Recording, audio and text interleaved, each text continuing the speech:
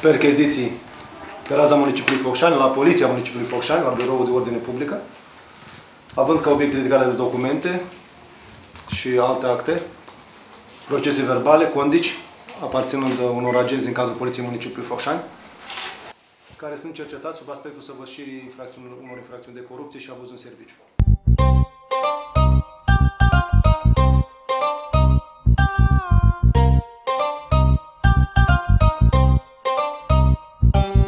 Fost efectuate percheziții și la domiciliile acestora.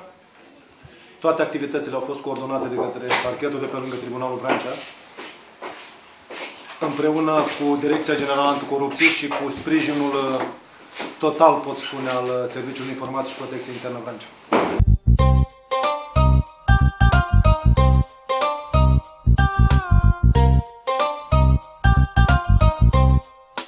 Deocamdată au fost conduși la sediul parchetului patru subofițeri. Sunt în custodia noastră, urmează a proceda la audierea acestora și să vedem exact gradul de implicare al lor și al altor persoane posibile.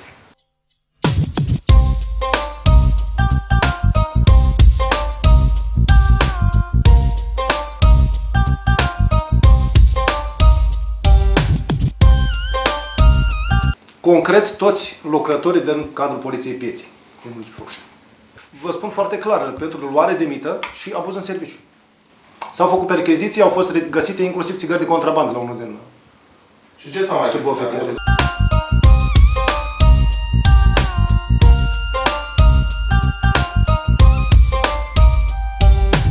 Acțiunea o desfășurăm de vreo, cred, zic, șase luni, șapte luni. Avem monitorizat toată zona.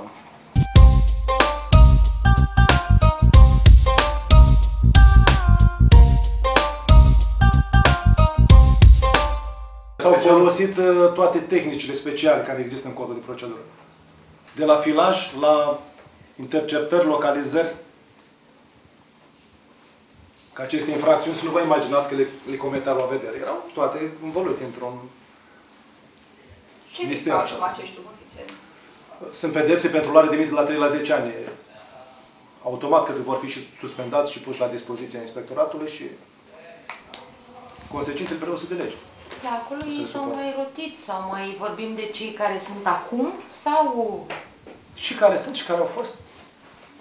Păi, atunci înțelegem că sunt mai mult de șase. Transformați într-un într mod de lucru e activitatea acolo. Deci nu sunt cazuri izolate, să vă imaginați. Era efectiv un mod de lucru. Adică cum soluționăm la parchet dosarii, așa făceau acolo la UMITA.